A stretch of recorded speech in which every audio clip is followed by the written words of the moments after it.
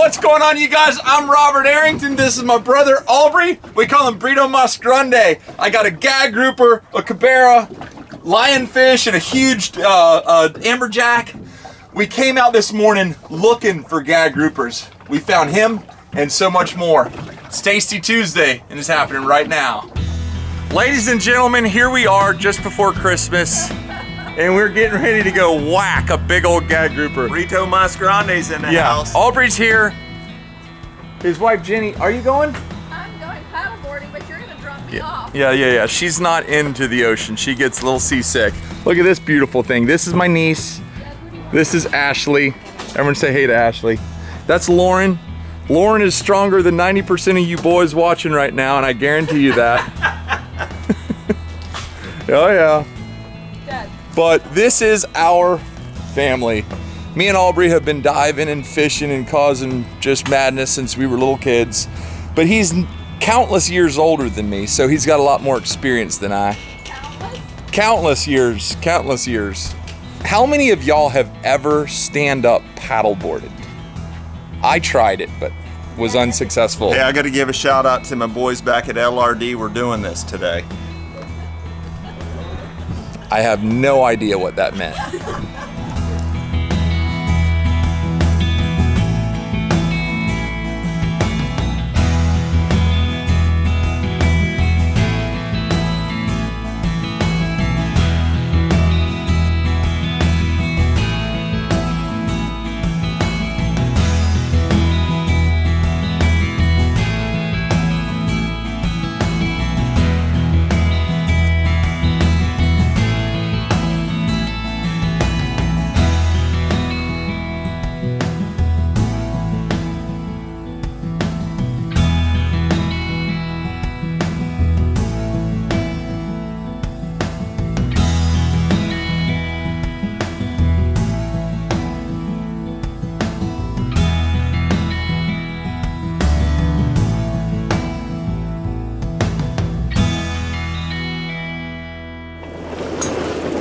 Gun you got there, boy.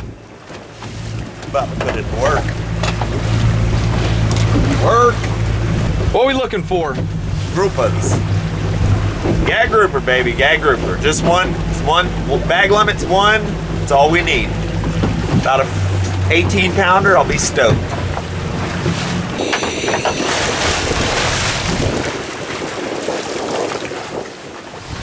Okay, so this little spot is, I mean, the groupers are either going to be there or not. Albrey just swims down, he'll check it out real quick, and he comes back up. As brothers, he and I have been diving and doing stuff like this all our lives. Whenever I was a kid, like a little kid, he would meet me at my bus stop with his bike and I'd jump on the handlebars and we'd take off and go fishing together. We didn't even have two poles. We would borrow poles. We'd go one cast, one cast, one cast, one cast, and then we'd, you know, count who caught the most fish, which it was normally him. And a red and white Zara Spook was always our favorite lure.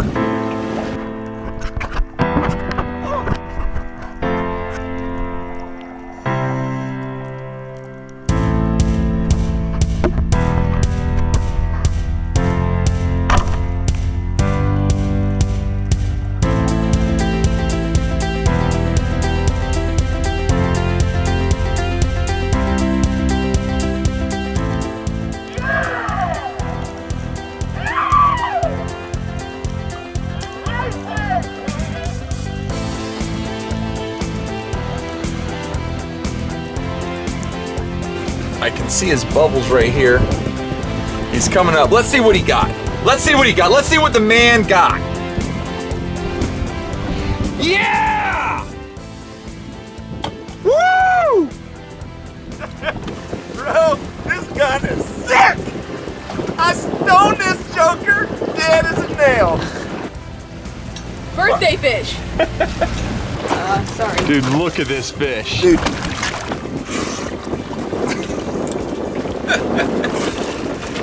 The yellow jack.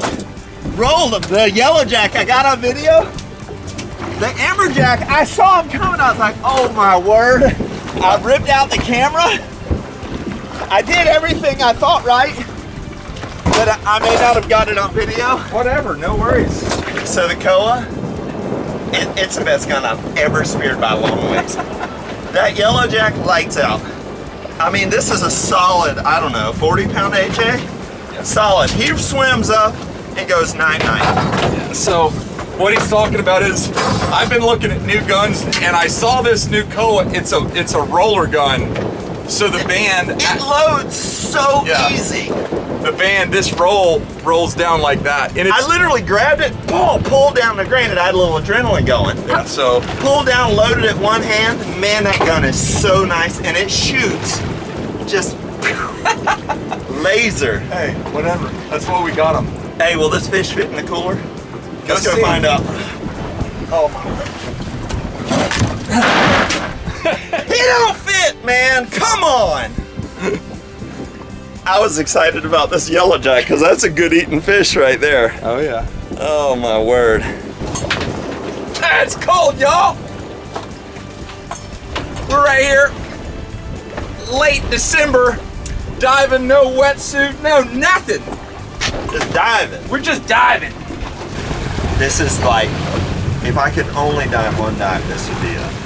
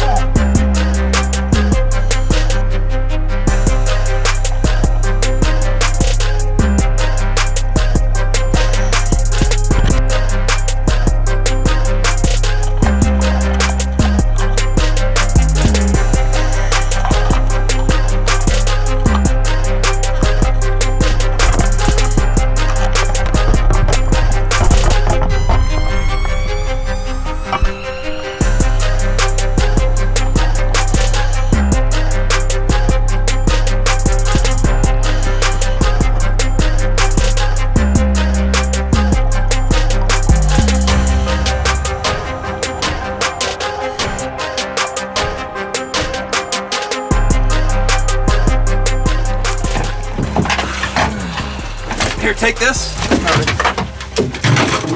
Couple in there. And that. So you had cobias and everything? There were cobias swimming around me that were just like barely short. There's a huge spray with cobias on it. Dirty as can be. Here, take this. this.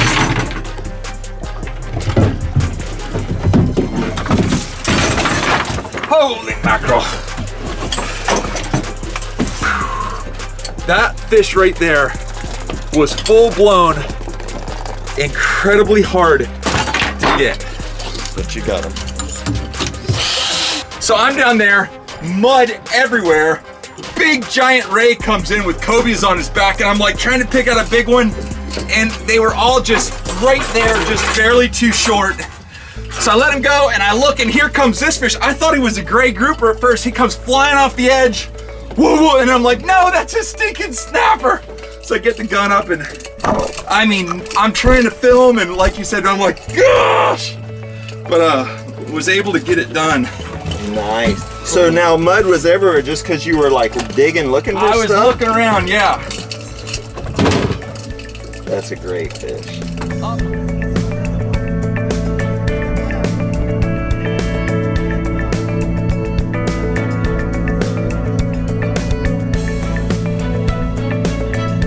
So we had like an absolutely magical day.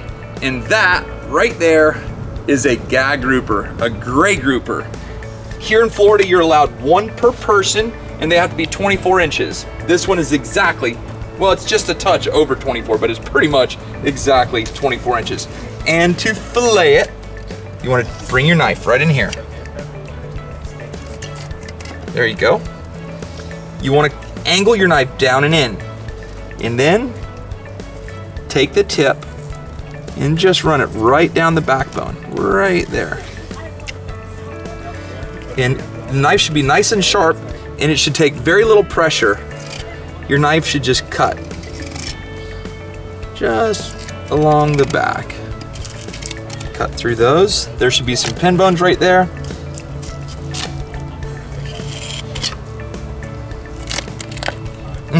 What a nice fish. And then, beautiful fish. Beautiful fish. Turn it over, and we're gonna do the same thing on the other side.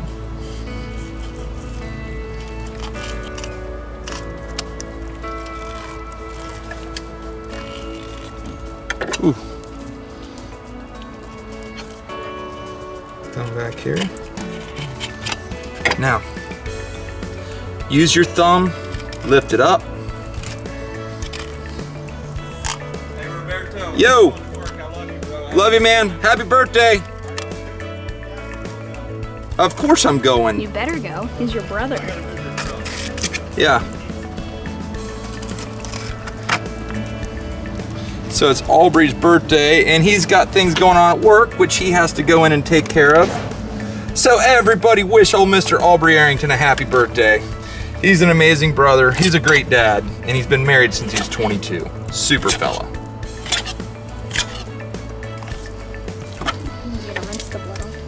Look at that. So there is our grouper carcass. We're gonna save this and make stock. We're gonna make a little fish soup out of that. But our fillets, our fillet, just take your knife and just let it run right along the skin. You should have all your skin and a perfectly trimmed out fillet. You've got bones. These are called pin bones. They run right there. Now you can put them in your stock if you'd like. If not, don't worry about it.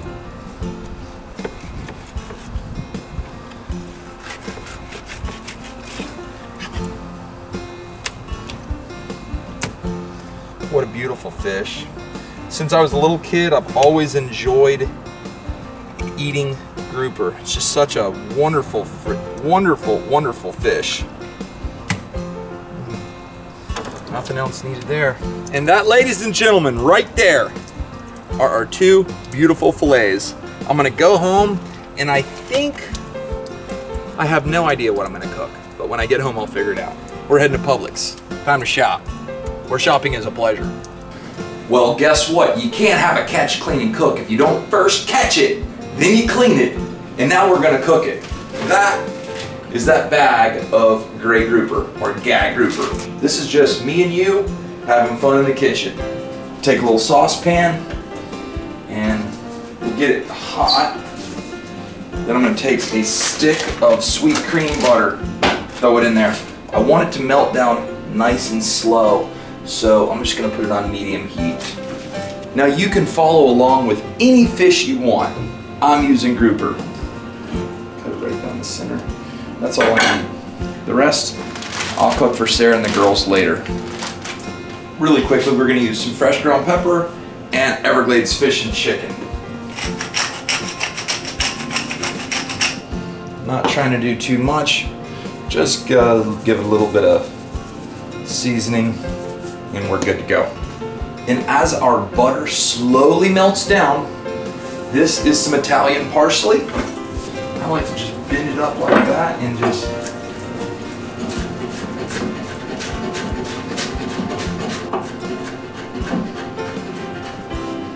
We're gonna add a big fat pinch of Italian parsley right in there. Next, we'll take a couple lemons and slice them down this side. Make sure we don't get any seeds in there. Mm. This is ginger. It's a little dried ginger bowl you can buy at Publix. And that's just shredded dried ginger. Pinch of that. Whew. Oh my gosh, I love the smell of that. That is the love potion, ladies and gentlemen. Now let's get to cracking. That it's just a cheap old grill pan, but it's probably my favorite pan in the whole kitchen. I love a good grill pan. We're not using any oil, no butter, no nothing. Just gonna use a little bit of Pam. Is that Pam or pan? Pan. No, it's Pam.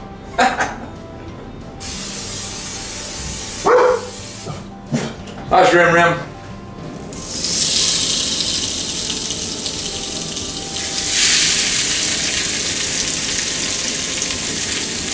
So the keys to cooking fresh fish. A, once you catch the fish, ice it down properly. Once it's iced down, and then you fillet it out, make sure you trim out all the red bloodline. Now, some people may enjoy that. I don't. So I'm only speaking from my point of view. Once you've got your fish properly, properly cleaned and trimmed out, then keep your fillets laying nice and flat so they're not all bent up and just destroyed. Once you start cooking, don't overdo it. Simple seasoning, nice little sauce, don't overcook the fish. If it's fresh, you can eat it raw. So no reason to overcook it.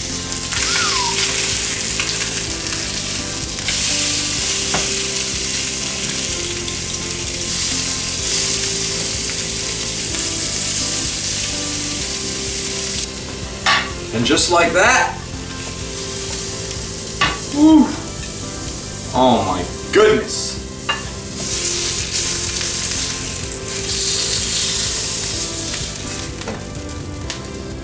Oh, so incredibly good. Now we'll take a little bit of our sauce.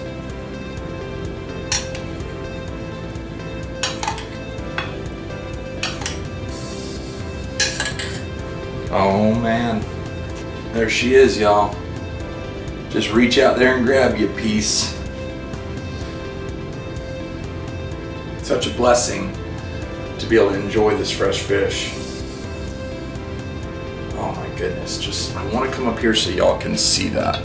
Like just the most succulent, white, fresh, loving goodness ever. Mm. Sauce is full on 100% on point. Mm.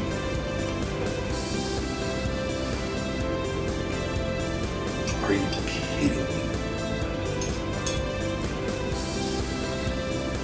I would like to say fish just doesn't get much fresher than that or better than that.